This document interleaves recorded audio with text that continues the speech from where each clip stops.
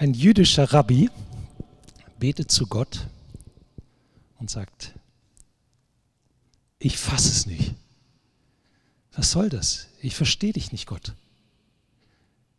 Was soll ich tun? Mein Sohn, der Sohn von Rabbi Moshe Bar Yitzchak, ist Christ geworden. Auf einmal hört er ganz leise eine Stimme von Gott. Mach dir nichts draus, meiner auch. Und er guckt und sagt, und was hast du getan? Hört er die Stimme Gottes, die sagt, ich habe ein neues Testament geschrieben.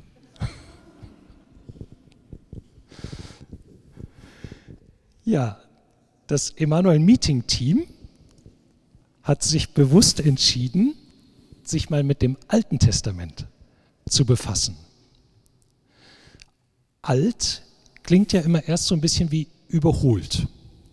Oder eben wie in der kleinen Geschichte von dem Rabbi, der ein Testament gemacht hat und jetzt vielleicht seinen Sohn enterben möchte und er schreibt ein neues in dem Sinne von, das alte ist ungültig, wird ausgelöscht.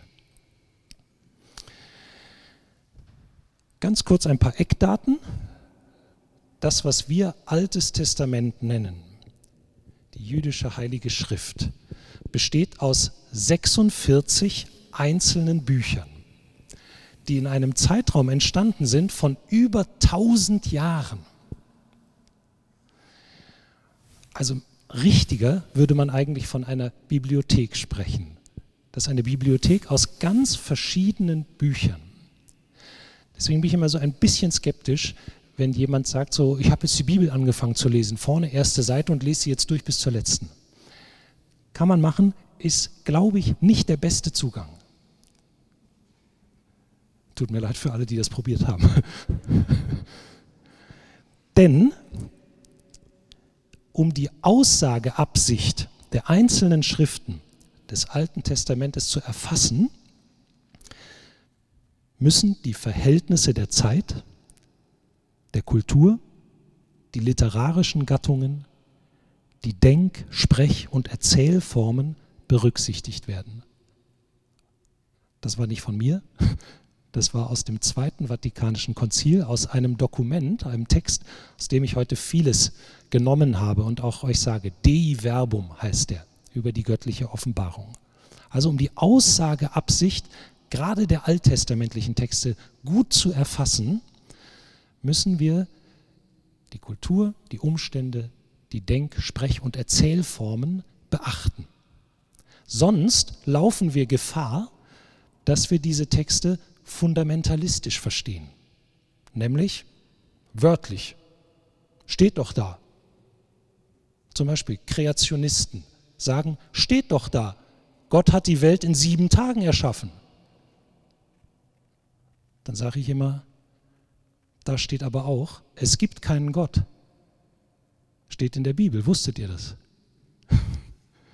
In der Bibel, in unserer Bibel steht, es gibt keinen Gott. Und wenn ich den Kontext nicht beachte, dann komme ich nämlich zu schwachsinnigen Auslegungen. Davor steht nämlich, spricht der Idiot in seinem Herzen. es gibt keinen Gott. Das ist gemeint. Ich muss immer sehr genau hinschauen, in welchem Kontext ist etwas gesagt und was ist die Aussageabsicht. Wir wissen aus unserer Gegenwartsliteratur, ein Roman, eine Novelle, eine Parabel, können tiefe Wahrheiten transportieren, auch wenn sie sich nicht auf ein konkretes geschichtliches Ereignis beziehen. Oder wenn sie nicht ein Roman, ich habe jetzt der letzte sehr gute Roman, den ich gelesen habe, die Violinistin von Auschwitz, das ist ein Roman, der basiert auf einer wahren Geschichte. Aber auch Romane, die das nicht tun, können tiefe Wahrheiten transportieren. In der Bibel gibt es geschichtliche Bücher, die Chroniken zum Beispiel im Alten Testament. Es gibt prophetische Bücher und es gibt dichterische Bücher, wie zum Beispiel das Hohe Lied der Liebe oder das Buch Jona. Und das müssen wir berücksichtigen, wenn wir verstehen wollen, was da gesagt ist. Wir glauben als Christen, als Kirche, dass alle Schriften, auch des Alten Testamentes, inspiriert sind. Das heißt nicht nur, dass sie besonders intelligent sind, sondern dass sie vom Heiligen Geist gewirkt sind, dass sie als Urheber Gott selbst haben. Vielleicht kann man das so vergleichen, wenn im Theater in Münster eine Symphonie von Mozart gespielt wird. Dann gibt es hier Musiker, einen Dirigenten, die bringen etwas zum Klingen, machen das hörbar, was nicht von ihnen stammt.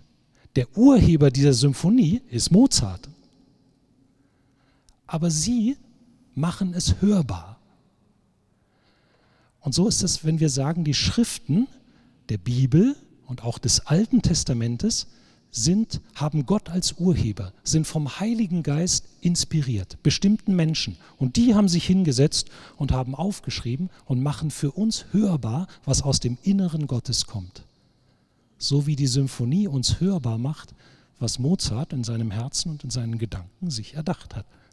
Das ist doch toll. Gottes Wort in Menschenwort.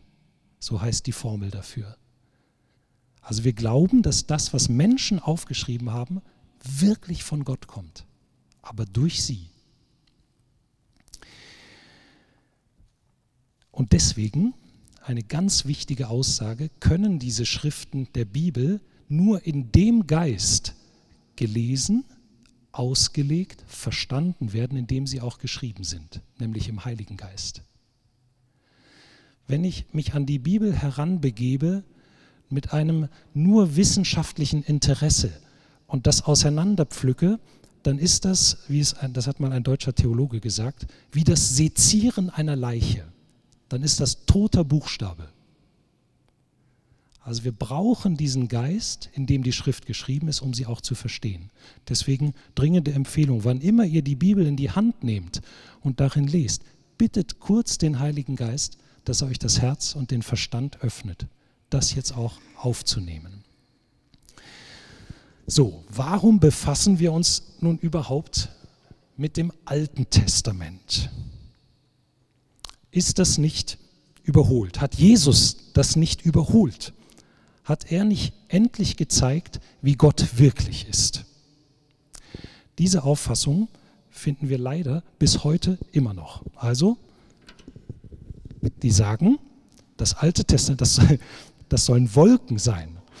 Und im Alten Testament, das Alte Testament erzählt uns von einem strengen, strafenden, bösen Gott, ein zürnender Gott, der mit Donner den Menschen den, die richtigen Wege einbläut. Und dann sei Jesus gekommen und der hat uns endlich zu verstehen gegeben, dass Gott eigentlich nur lieb ist zärtlich, menschenfreundlich. Der tut keinem was. Also, dass ein Bruch ist zwischen dem Alten und dem Neuen Testament. Diese Meinung ist schon am Anfang des zweiten Jahrhunderts da gewesen, nämlich von einem gewissen Markion. Das nennt man Markionismus.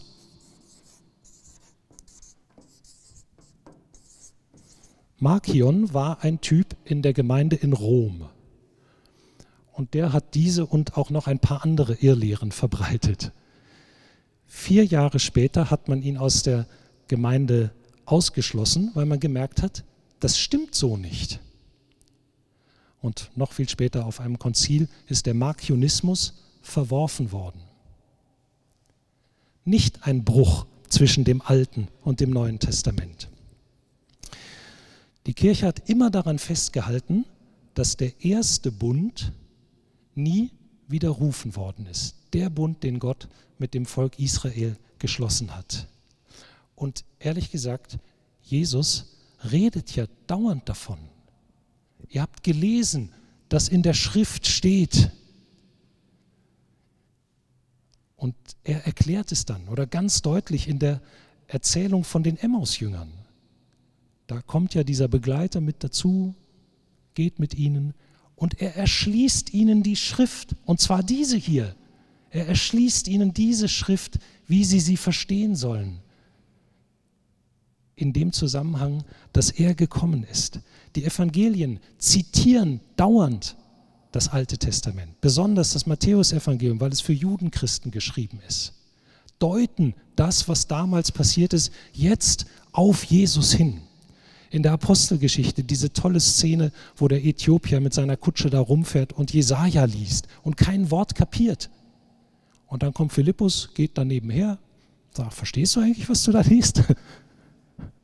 Und er erschließt ihm den Propheten Jesaja, weil der ja fragt, von wem ist denn da die Rede in diesem Buch? Und Philippus geht hin und sagt, verstehst du nicht, da ist eigentlich schon auf verdeckte Weise von Jesus die Rede. Also kein Bruch, sondern eine Kontinuität. Deswegen verehren wir Christen das Alte Testament als wahres Wort Gottes. Wir sehen eine Einheit zwischen dem Alten und dem Neuen Testament. Es ist also gerade nicht so wie in dem eingangs erzählten Witz von dem Rabbi, der dann das Neue Testament macht und das Alte verwirft. Wir sehen eine Kontinuität ohne Bruch. Der heilige Augustinus, ein Kirchenlehrer, hat das einmal so gesagt, das Neue ist im Alten verborgen und das Alte wird im Neuen erschlossen. Also sie gehören zusammen, eine Kontinuität. Was für eine Kontinuität.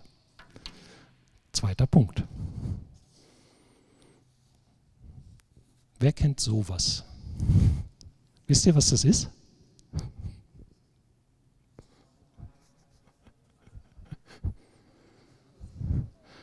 Das ist ein Fotoalbum. Gibt sowas noch? Jetzt habe ich eine Familie besucht, da schenkt der Mann der Frau jedes Jahr am Ende des Jahres ein richtiges Fotobuch. Heute macht man das natürlich alles viel schicker mit Fotos, die dann da richtig reingedruckt werden. Früher hatte man sowas. Und meine Mutter hat für uns Kinder so ein Buch mit Fotos von allen Urlauben und so und hat dann immer so tolle Unterschriften dazu gemacht. So, das, das ist ein Fotoalbum. Und jeder von euch, jede, die schon mal in einer Beziehung war, also wenn man einen Partner, eine Partnerin hat, irgendwann kommt meistens der Moment, wo man sich alte Fotos anguckt, oder? War das nur zu der Zeit so, als die Fotoalben so aussahen? Also da war das so. Irgendwann guckt man sich die Fotoalben an von früher, weil natürlich, wenn man jemanden liebt, man gerne auch eintauchen möchte in die Geschichte dieses Menschen. Und ich möchte auch gerne zeigen, wo komme ich her? Wie bin ich der oder die geworden, mit der du heute zusammen bist? Und man möchte dem anderen Menschen, den man liebt, gerne Anteil geben an dem, was die eigene Geschichte ist. So, man möchte sich mitteilen, von sich etwas zu erkennen geben. Und für mich ist das Alte Testament wie so ein Fotoalbum wo wir haben ja alle irgendwann Jesus kennengelernt auf unserem Lebensweg und sind mit ihm in eine Beziehung getreten. Und mit der Zeit möchte er uns auch mit hineinnehmen in seine Geschichte, wo er herkommt. Möchte sich immer tiefer zu erkennen geben, wer er ist. Und das finden wir im Alten Testament. Jesus war Jude und hat selber aus diesen Schriften gelebt, ist in die Synagoge gegangen. Dieses sich immer mehr zu erkennen geben, das nennt man theologisch Offenbarung. Etwas von sich zeigen und zu erkennen geben. Nun ist es ja so, dass das soll die Welt sein. Das erkennt man, oder? Und das sind Galaxien. Wir glauben ja, dass alles, was es gibt, die Erde, die Welt, Galaxien, das ganze Universum von Gott gemacht wurde. Und die Menschen, die hier auf der Erde leben, seit, seit es Menschen gibt, untersuchen die das und fragen sich, wo kommt das alles her? Und die untersuchen hier die, die Kontinente und die forschen in den Galaxien mit irgendwelchen Teleskopen und untersuchen das, was es gibt. Und der Horizont des Menschen,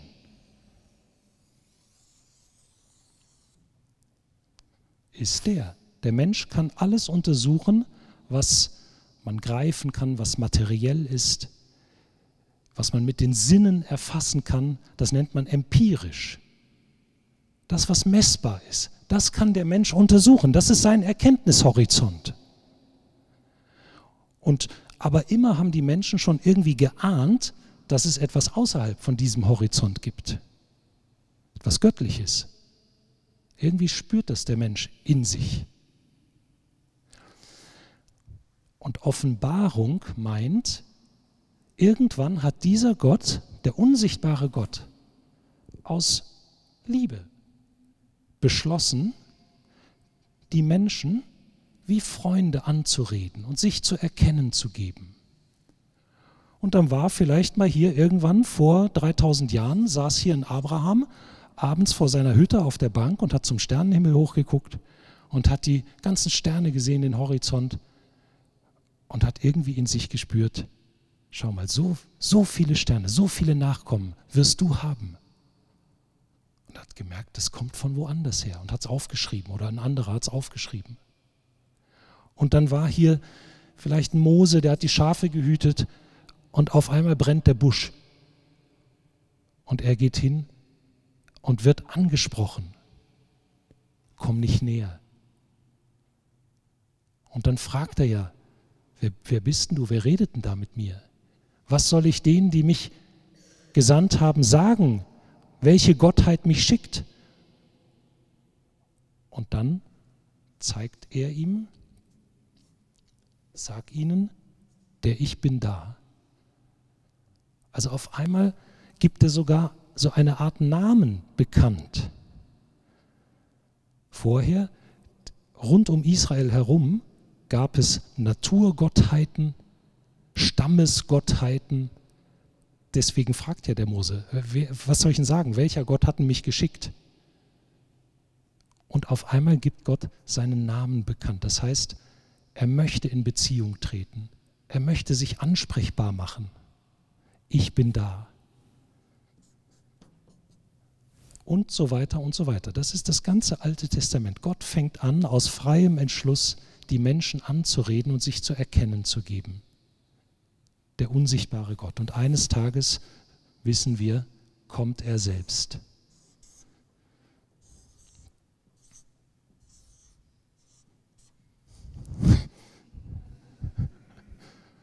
Eines Tages kommt er selbst in diese Welt und gibt sich zu erkennen.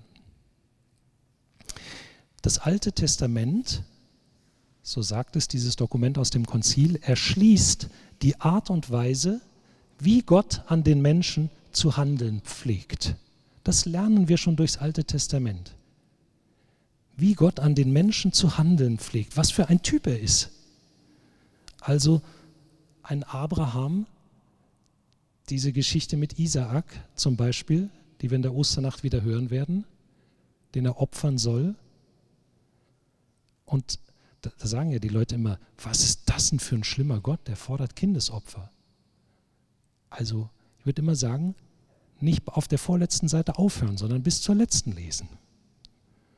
Der Hintergrund hier ist nämlich, dass es rund um Israel sehr wohl Kulte gab, wo Kinder geopfert wurden für Gottheiten. Das ist der Hintergrund. Und die Aussage hier ist, dieser Gott eben nicht. Der will nicht Kindesopfer, der will ein bedingungsloses Vertrauen. Das ist die Aussage da drin. So pflegt Gott an den Menschen zu handeln. Oder das eines der ältesten Stücke des Alten Testaments ist der Gesang der Miriam, nachdem sie mit dem Volk durch das Rote Meer gezogen sind, wo sie auf die Pauke schlägt und tanzt und singt. Und die Aussage darin, Gott errettet und befreit. Er führt in die Freiheit. So ist dieser Gott. Und dann könnten wir alle Bücher durchgehen.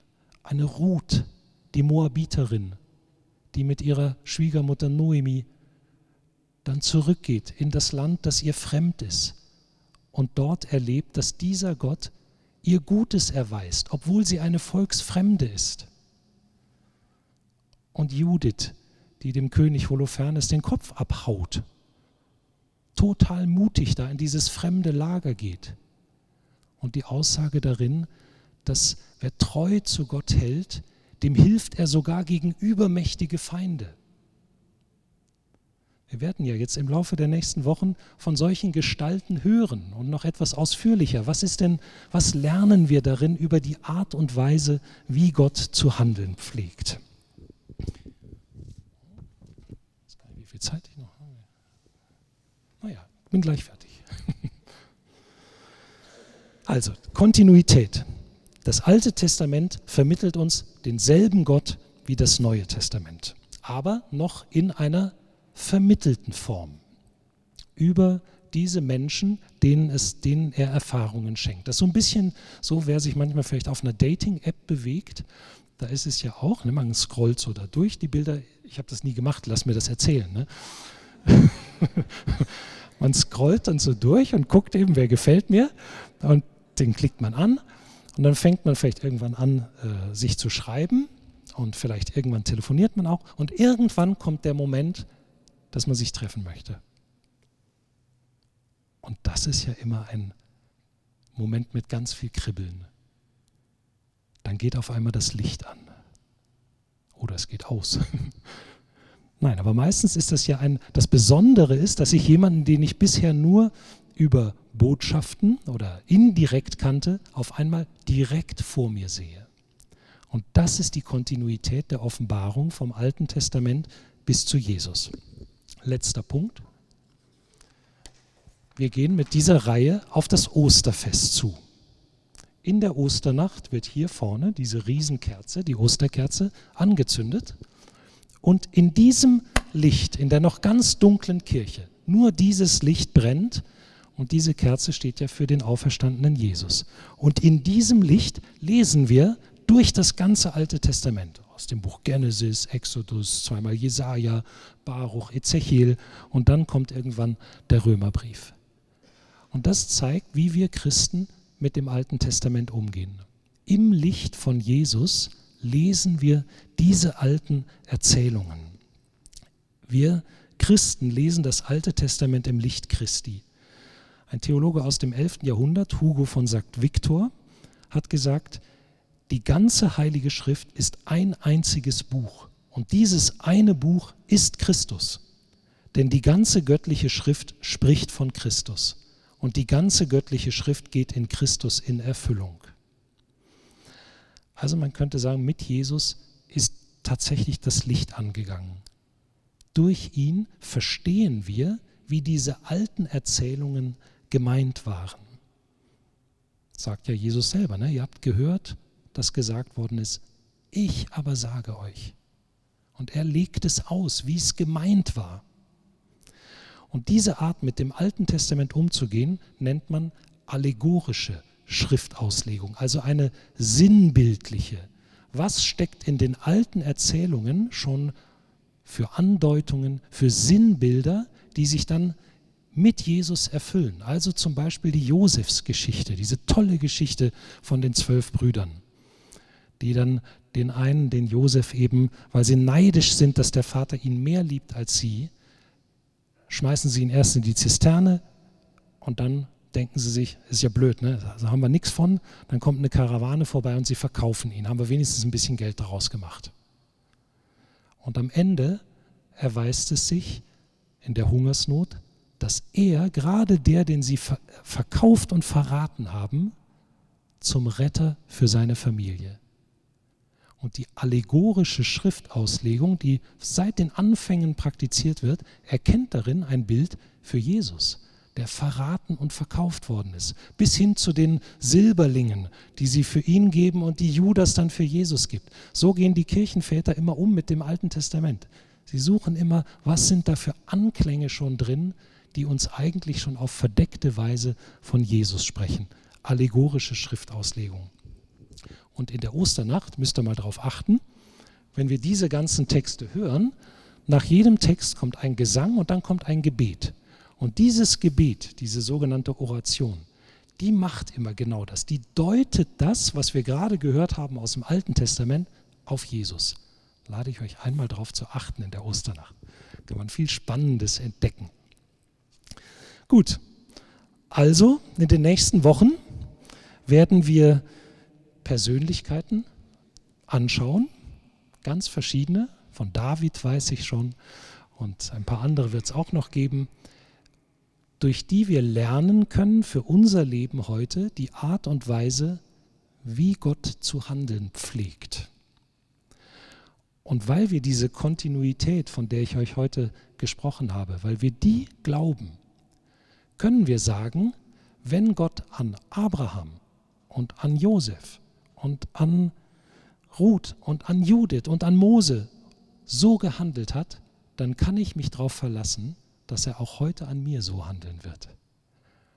Und mit dieser Aussage können wir in die nächsten Wochen gehen und uns die Geschichten der alttestamentlichen Figuren anhören. Punkt.